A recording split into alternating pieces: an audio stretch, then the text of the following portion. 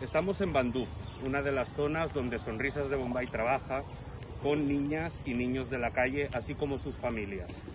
Uh, se cree, eh, según estudios, informes de finales de los 90, que en Bombay hay más de 100.000 niños en la calle,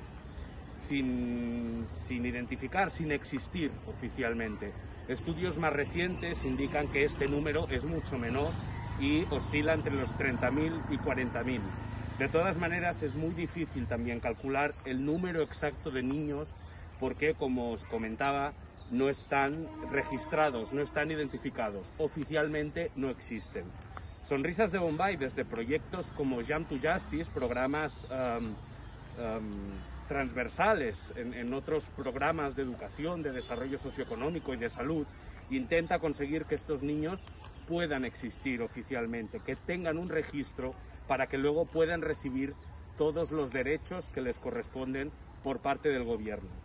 Además de esto, Sonrisas de Bombay desarrolla proyectos como por ejemplo el Smiling Bus, eh, un autobús que es un autobús escuela que va directamente a estas zonas permitiendo identificar que niños que no reciben su educación formal puedan entrar en ese ciclo y puedan tener esa educación que merecen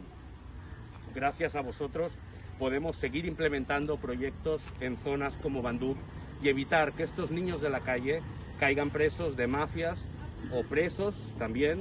eh, de manos de redes de prostitución, de proxenetas que los explotan en otros lugares de la ciudad como Camatipura, distrito de las Luces Rojas.